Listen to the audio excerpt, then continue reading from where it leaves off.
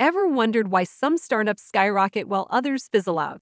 The secret lies in something called product market fit. Picture this you're trying to quench your thirst on a scorching hot day.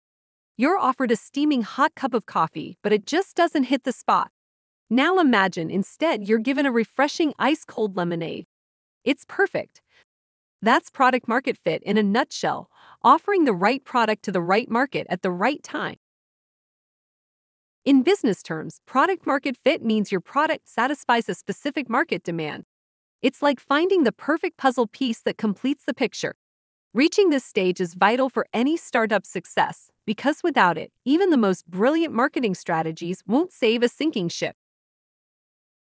Fun fact Did you know that around 42% of startups fail because they don't achieve product market fit? So it's crucial to constantly listen to your customers, adapt your product, and refine your strategy until you find that sweet spot. And guess what? Companies that nail product market fit experience rapid growth, better customer retention, and increased investor interest. It's truly the secret sauce for startup success. Thanks for watching. Like, comment, share, and subscribe for more one minute wonders.